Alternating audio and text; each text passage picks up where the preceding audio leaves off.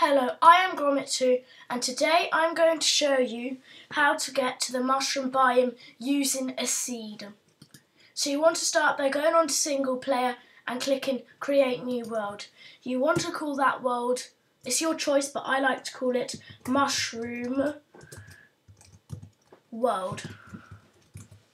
Then you, if you want to be on survival, I'm going to go on creative. You can choose which one you want. Then you have to keep the world D flat, or then it would be flat. Then the seed you want is lost. L O S T for lost. Lost. Then you click done. You click create new world. This will load up. Might take a few seconds. And when you're on it, I'll just show you about and tell you a bit about it. So here I am. This is a mushroom biome. Those are giant mushrooms and it's very big.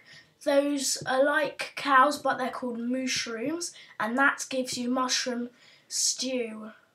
So this is how a mushroom biome looks. You need a silk touch pick to dig this and then it will give you the block or it won't give you the block.